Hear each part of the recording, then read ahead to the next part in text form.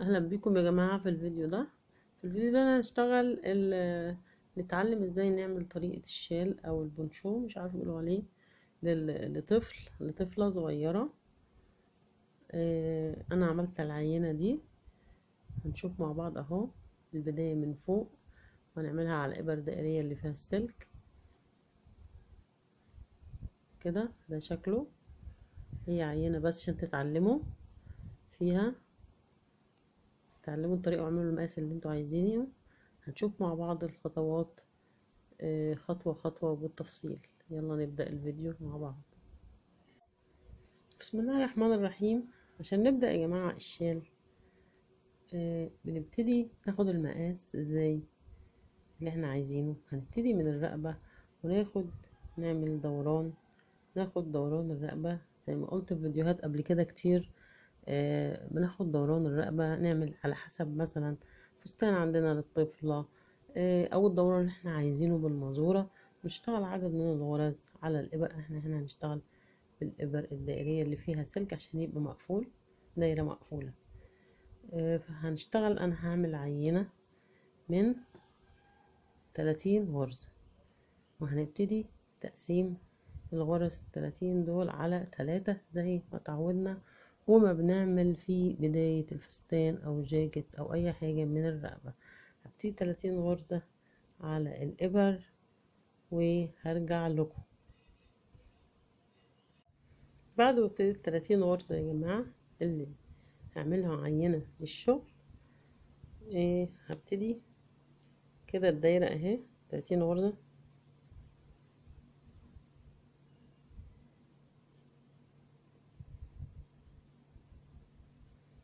أهو. دول تلاتين غرزة هنعمل عليهم الشغل. ابتديناهم على واحدة من الإبر أهي وهنبتدي نشوف إزاي هنحولهم نقفل نعمل الدايرة السحرية أو الحلقة السحرية. أنا هاجي النص كده وأروح قسماهم تقريبا من النص واخدة السلك كده.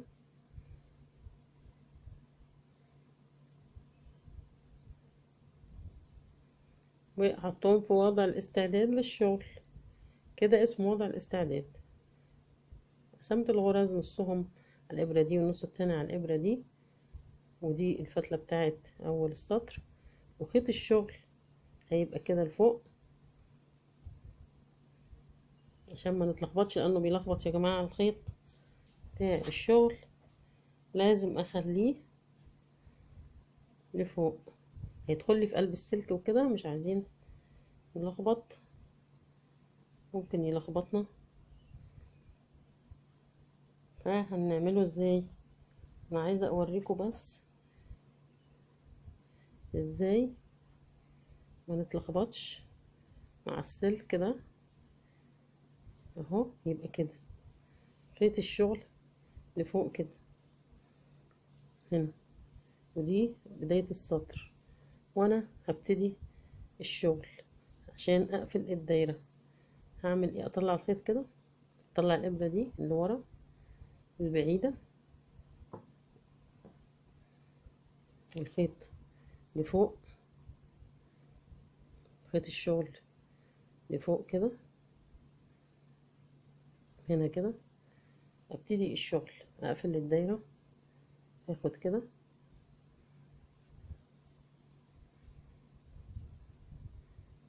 خيط الشغل معايا كده واقفل أبتدي أقفل الدايرة. شد كويس. أهو. وأشتغل غرزة وغرزة غرزة عدلة وغرزة مقلوبة. أعمل عشان أعمل البليسيه. هعمل جزء من البليسيه المقاس اللي أنا عايزاه العرض اللي أنا عايزاه. أهو. لغاية لغاية ما أخلص الغرز اللي على الإبرة اللي ناحيتي دي. أوريكم إيه اللي هيحصل بعدها. خلص دول.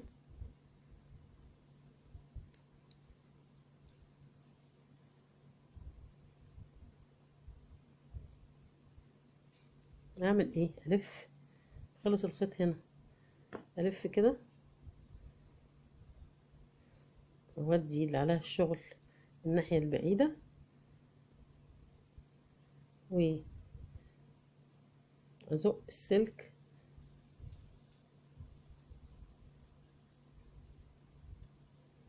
بالطريقة دي. هنا أجيبه على الإبرة اللي قصادي اللي ناحيتي. وأشد دي كده.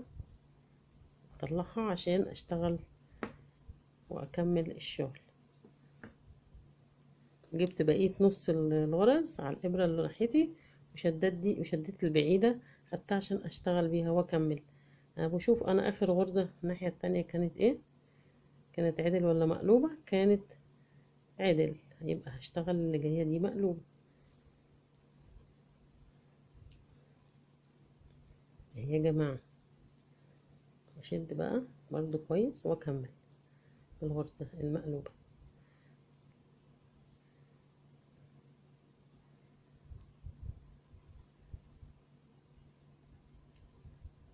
واللي بعدها عدلة. أكمل غرزة عدلة وغرزة مقلوبة. وأخلص الغرز اللي على الإبرة اللي ناحيتي. يبقى كده خلصت سطر أو خلصت دورة. هنا بيقول عليها دورة يا جماعة في الإبر الدائرية.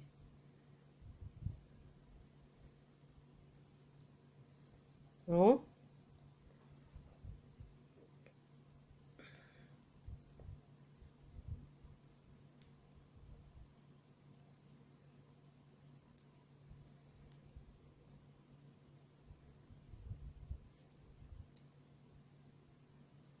كده.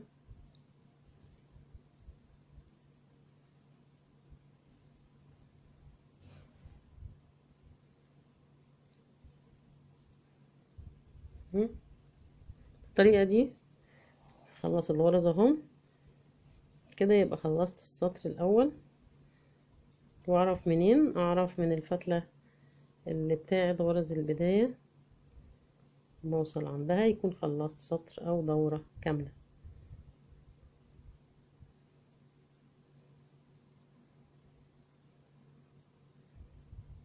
دي آخر غرزة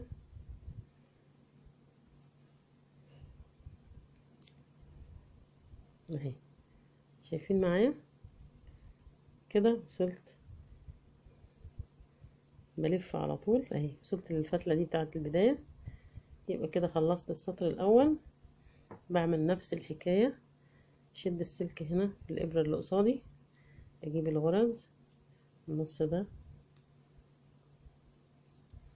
واشد الإبرة البعيدة عني كده عشان أشتغل السطر التاني. بيبقى فيه غلاسة بس شوية في الخيط الغرز إنها تعدي. لازم تبقى الغرز مبحبحة شوية. أهي أبتدي بقى أشتغل برضو تاني. الخيط الشغل بتاعي فوق هنا. أهو.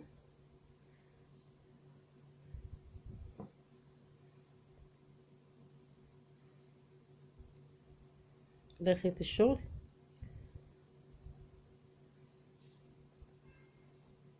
يبقى دايما لفوق. دايما لفوق.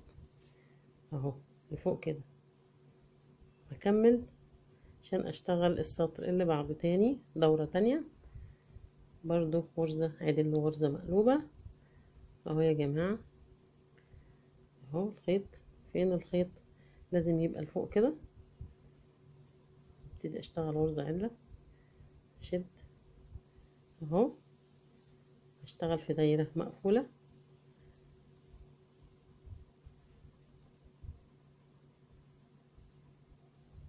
أهي غرزة مقلوبة أهي. بالطريقة دي.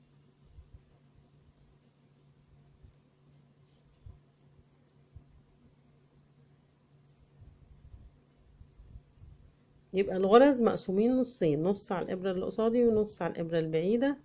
لما أخلص النص اللي قصادي بلف وأشتغل الجزء التاني وهكذا عشان أعمل دايرة أو دورة كاملة الغرز اللي عندي. أنا عاملة لكم عينة عشان الفيديو مبقاش طويل. بتلاتين غرزة. أهو بلف أهو. بصوا إزاي. أهي الدايرة هتبتدي تتكون دايرة صغيرة. طبعا أنتوا هتبتدوا عدد غرز هيبقى أسهل. كل ما يكون عدد الغرز أكتر هتبقى الشغل أسهل.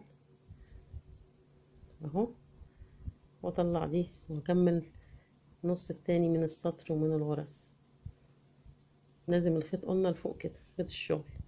شايفين معايا لفوق كده؟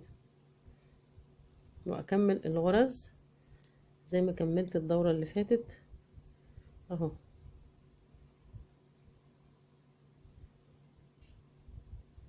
بالطريقة دي. أهو. غرزة وغرزة خلص سطر كام سطر للبليسيه. سنتي اتنين سنتي زي ما إحنا عايزين. وهرجع لكم عشان نشوف هنعمل إيه الحردات والتوسيع وتوزيع أو توسيع ال- البنشو أو الشال هيكون إزاي. أهو. هخلص اهو هخلص لما أوصل لدي يبقى خلصت دورة أو سطر. جيت لكم يا جماعة بعد ما اشتغلت ست أسطر أو ست دورات. أو زي ما أنتوا عايزين لو عايزين تعرضوا شوية الجزء بتاع البليسيه اللي فوق ده عرضوه. أهو. لغاية بعد ست أسطر ووصلت لطرف الخيط ده بتاع البداية ده دليل على بداية السطر أو الدورة الجديدة. هنعمل إيه؟ هنعمل إن إحنا هنوزع التلاتين غرزة يا جماعة على تلاتة عشرة عشرة عشرة عشرة في الظهر. زي ما بنعمل تقسيمة الحردات لما بنيجي نشتغل من فوق. أنا عاملاها في كذا فيديو في القناة. في عشرة للظهر وعشرة قدام وخمسة على الكتف اليمين وخمسة للكتف الشمال. فهبتدي بعد الخمسة دول. هنا هبتدي خمس غرز أمشيهم. بالغرزة العدلة. هنا يا جماعة الدوران في دايرة بيبقى عشان تعملي غرزة السنبلة أو غرزة الجيرسيه بيبقى كله بالغرزة العدلة مفيش سطر مقلوب ولا سطر عدل. أهو. بعد خمس غرز. هنعد كده. أدي أربعة. أدي خمسة. هنيجي هنا في الغرزة دي. نبتدي نزود غرزة. نزود غرزة إزاي؟ ممكن نزود في البنشو أو الشال ده في زيادة غرز من غير أجور ولا أي حاجة. فبنبتدي ممكن نطلع غرزة كده من النص أو ناخد من الغرزة دي ونشتغلها مرتين. أهو. نطلع منها مثلا كده. يبقى اشتغلنا خمسة وفي الستة نعمل نزود غرزة. أهي.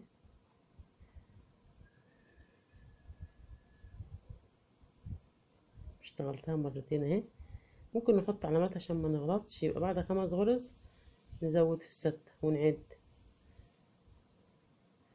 نعد عشرة العدد واحد اتنين تلاتة أربعة خمسة ستة سبعة ثمانية تسعة. في العشرة دي ممكن نعمل زيادة غرزة إحنا اشتغلنا الخمسة وعملنا في الستة زيادة. واحد اتنين تلاتة أربعة خمسة وفي الستة دي عملنا غرزة زيادة. وبعدين مشينا ادي واحد اتنين تلاتة أربعة خمسة ستة سبعة تمانية تسعة عشرة. نبتدي هنلف الخيط كده برضو.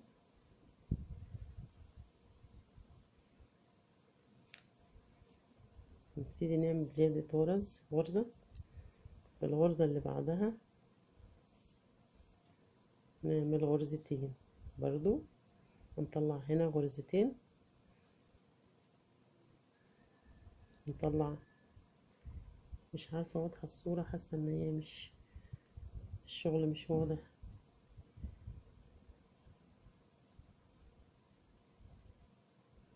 نطلع من الغرزة دي غرزة. ونشتغلها. ادي كده. واحد. تلاتة. أربعة. خمسة. نعمل اللي جاية دي برضو زيادة. يبقى بعد الخمسة نعمل زيادة.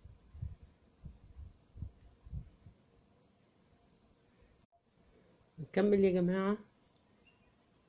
يبقى عملنا طلعنا عملنا زيادة وعملنا خمسة. بعد الخمسة نيجي دي برضو نعمل زيادة غرزة. يعني إحنا هنعمل زيادات عند أربع أماكن. زي ما بنعمل عند أربع حردات.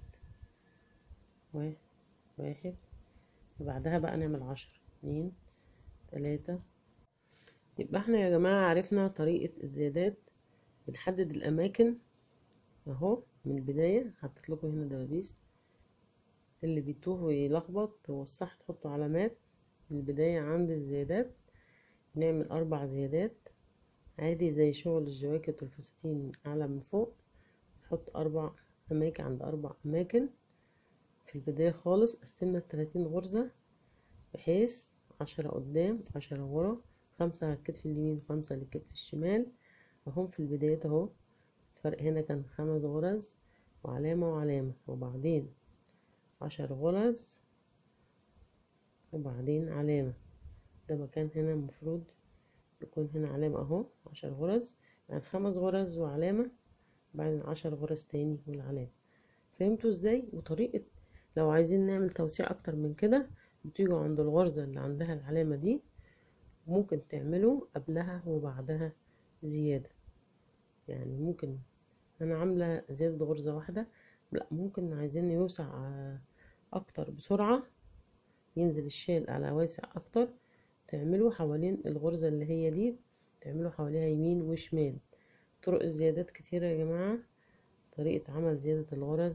ممكن اوريكم طريقة جديدة برضو تاني هنا وإحنا بنبتدي هنا في الدورة دي ما يجراش حاجة لأن ده أنا عاملاه يعني ده نموذج للتعليم بس. فاوريكم زيادة غرز تاني إزاي. إن إحنا ممكن نزود بطريقة اللي هي نيجي مثلا عند الغرزة اللي عايزين نزود عندها.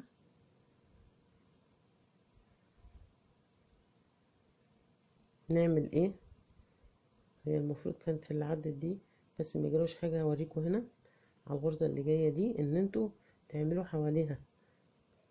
ممكن تطلعوا ده كده. اللي هنا ده دي زيادة بطريقة تانية. وتشتغلوا في الغرزة اللي طلعتوها دي تعملوها كده.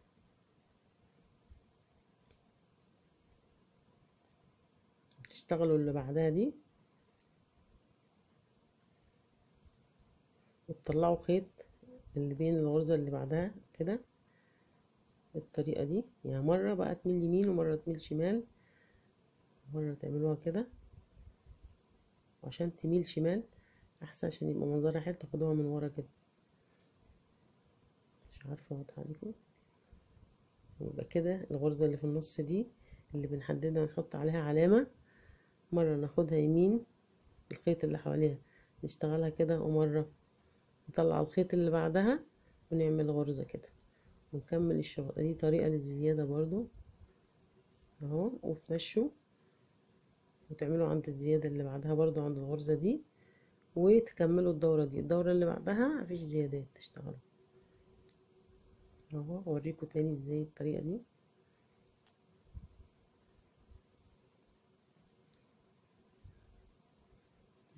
تحطوا علامة الأحسن تحطوا علامات يا جماعة. يعني هنيجي عند الغرزة اللي جاية دي. أوريكم طريقة زيادة تانية.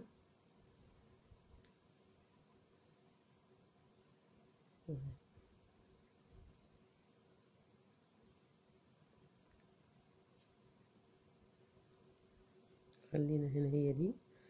نعتبر هي دي اللي عندها الزيادة يا جماعة. ونطلع الخيط اللي بينها وبين الغرزة اللي قبلها الطريقة دي. ونشتغل كده. وادي الغرزة اهي. نشتغل نطلع في اللي بعدها. نحط الطريقة دي أو دي. هي كده لو حطيناها كده نشتغلها من ورا.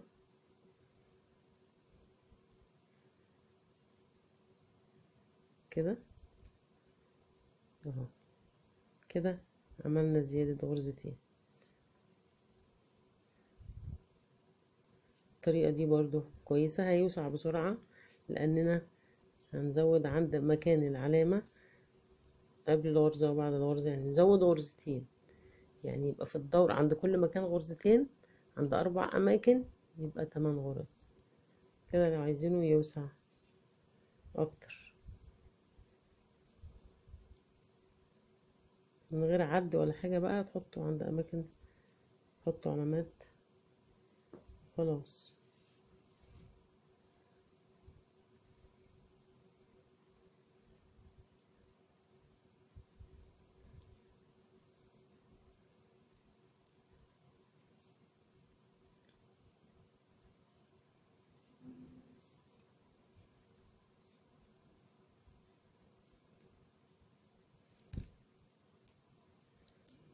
كمل الشغل.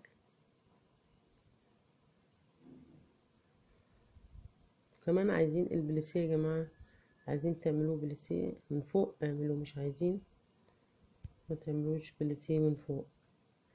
ادي أماكن الغرزة هتيجي هنا عندها الزيادة. هي باينة أهي أهي.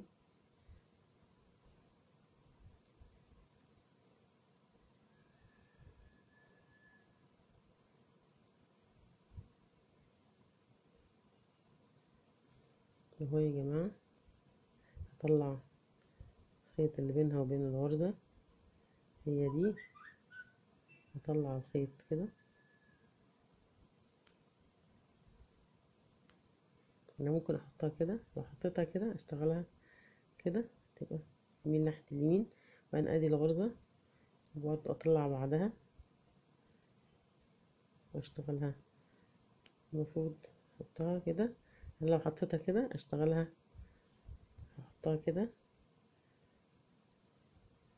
واشتغلها من ورا من الخلف كده عشان تبقى مظبوطة ومايلة ناحية الشمال.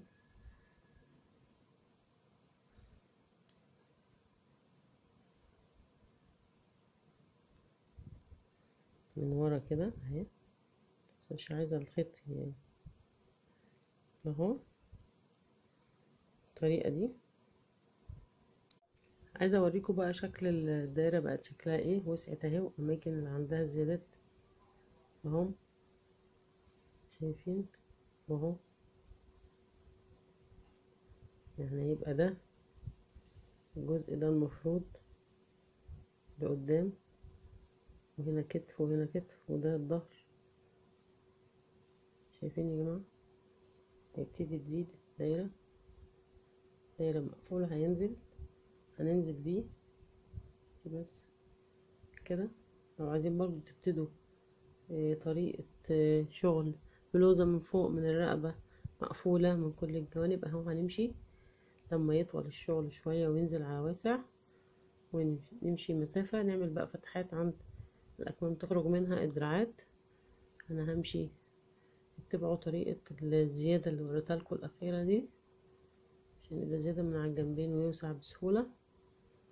همشي المسافة وأرجع لكم بقى